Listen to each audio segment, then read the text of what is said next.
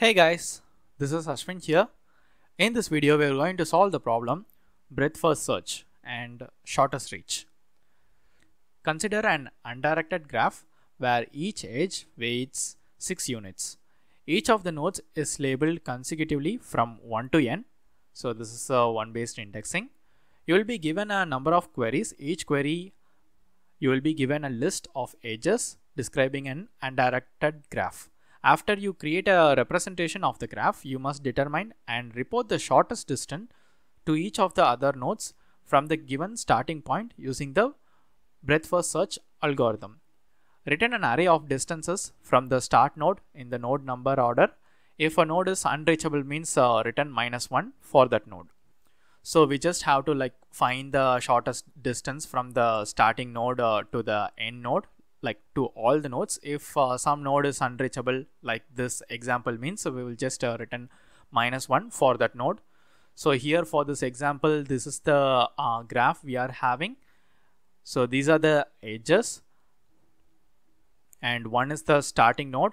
All the distances are start from uh, 1 outputs are calculated for distances to nodes 2 through 5 so here if I consider uh, one is like initial distance right? So it will be like 0 so we will just uh, leave this uh, index itself.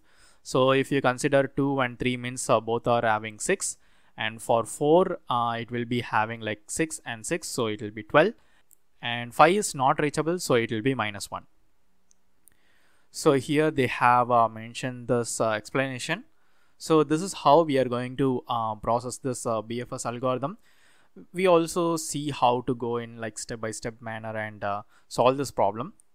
Before that uh, we will also check the constraints. So here uh, you can see the constraints are small. So the queries will be like 10 and the number of nodes will be 1000 and this is the number of uh, uh, possible edges. So it's a reasonable number. So it won't uh, give us a timed out error. Let's see some sample inputs now. So here we have like two queries. So we have uh, four nodes and uh, two edges. So here these are the nodes. One, two is connected and one, three is connected. So it will be having six, six and uh, minus one. So four is not reachable. So it will be minus one.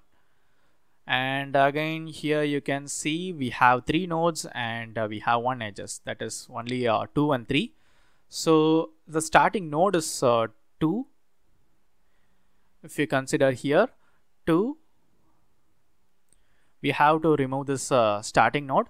And uh, for this 3 we'll be having like distance 6 and uh, 1 is not reachable so it will be minus 1 so the result is minus 1 and 6 so now let's dive into the problem. Uh, you can clearly uh, see some visualization in this example. So let's convert that uh, visualization to solve this problem. So we are going to go with BFS for implementing BFS, uh, we, we, can utilize queue. So for that, I'll just uh, import a function here.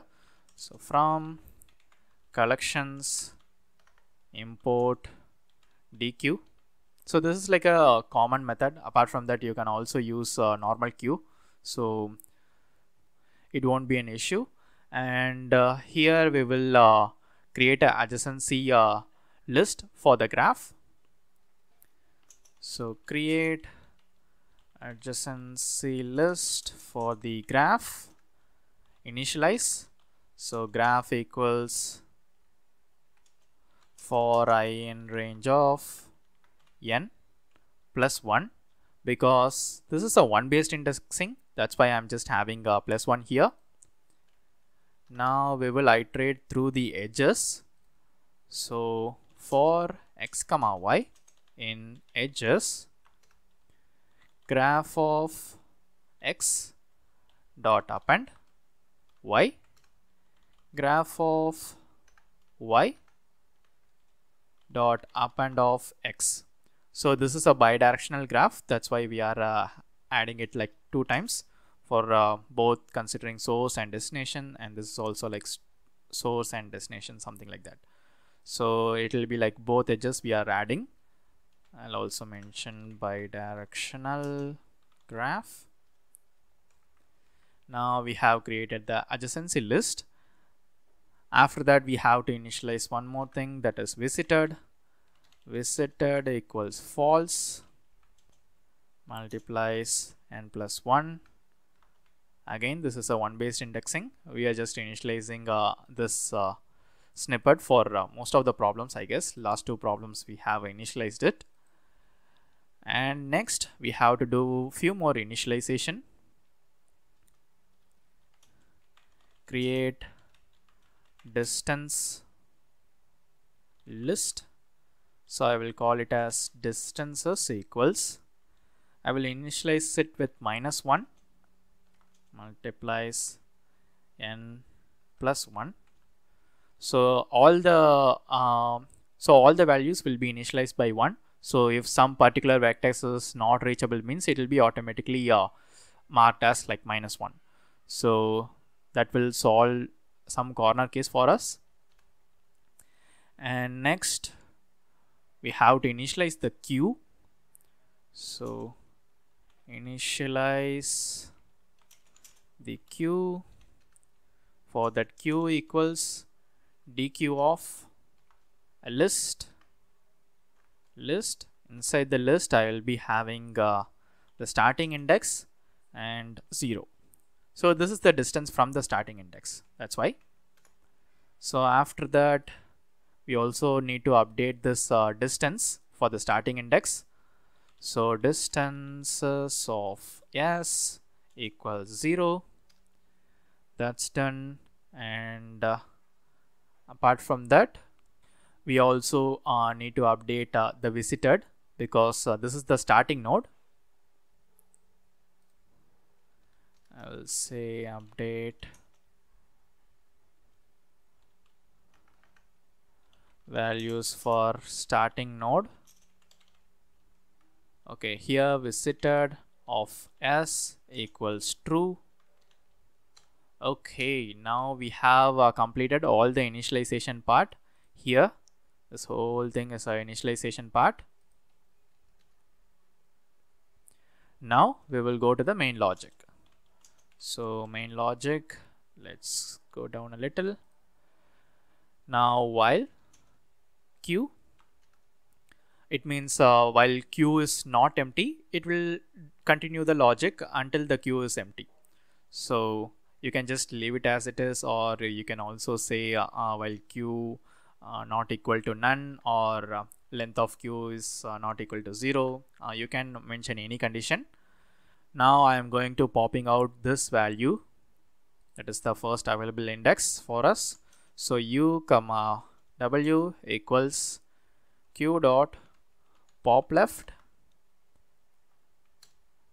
So this is the uh, node and this is the weight.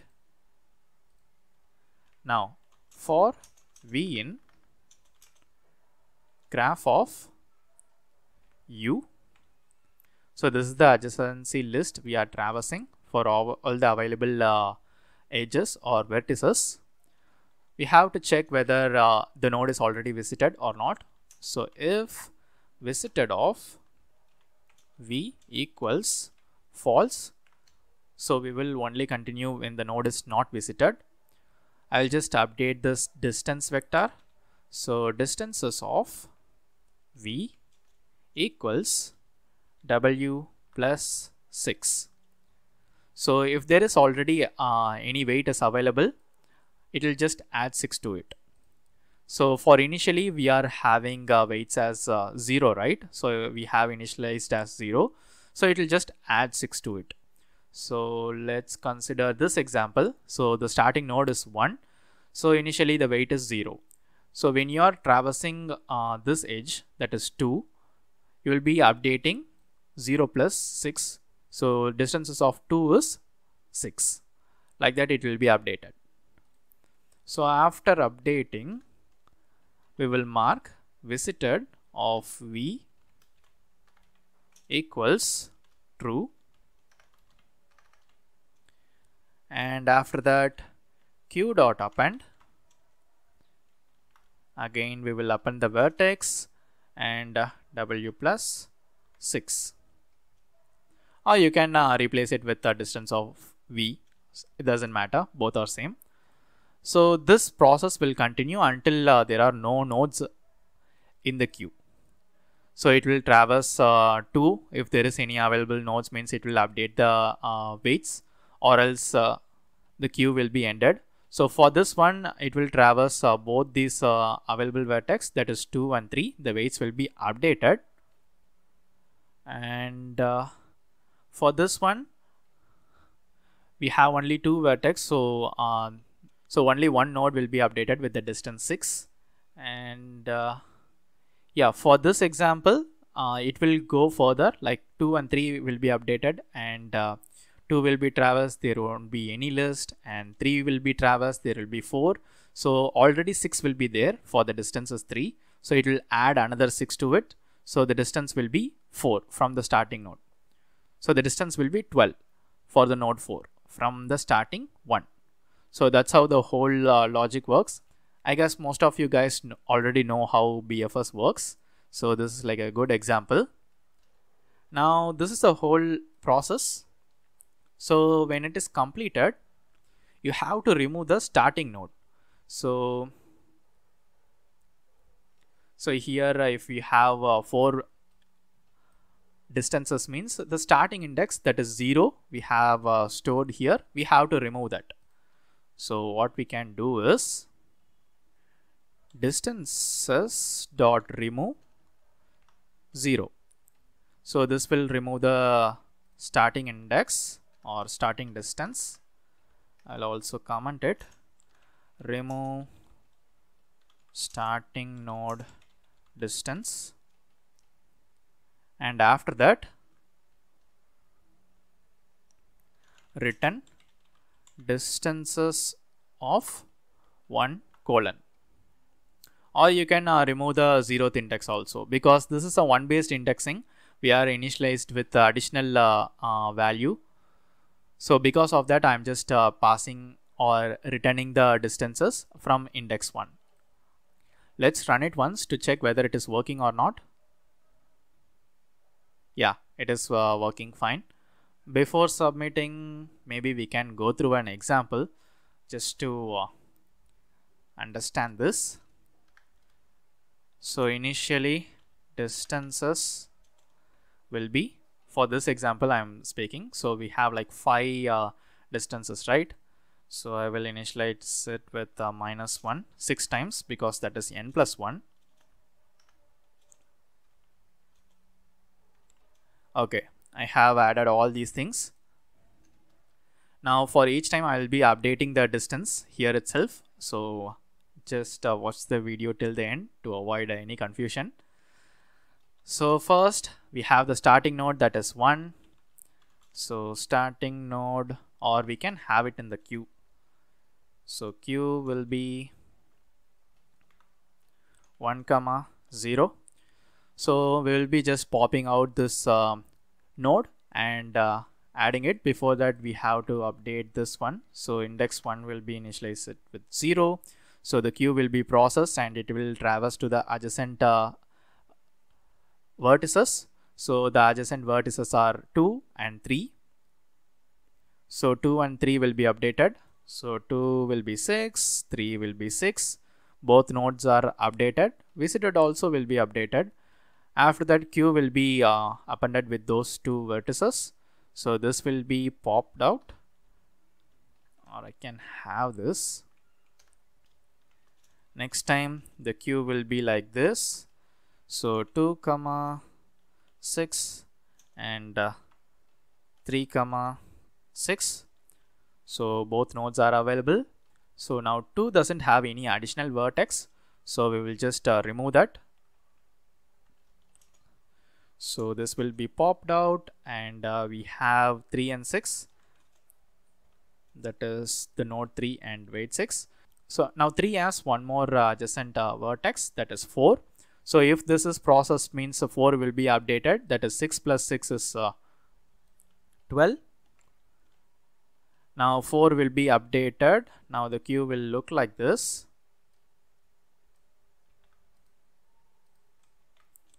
So this will be 4 and this will be 12. Now 4 doesn't have anything so queue will be automatically goes to 0 sorry q will be null so the loop goes out. Now we are removing this uh, distance 0 that is uh, we are just removing this element itself. So after removing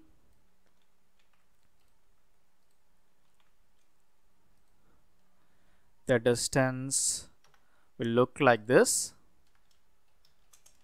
Remove 0 and finally we will be just returning 6 6 12 minus 1 so here you can see 6 6 uh, minus 1 this is like a dummy index. We didn't uh, use it. So we are just uh, removing it here. So this is just a dummy index. Final result will be final distance equals this is our final uh, distance we got. So that's how the whole uh, tracing or uh, the example works. So try to uh, trace the problem with other examples also. It will be very helpful for you. And that's it guys. We will just submit the code.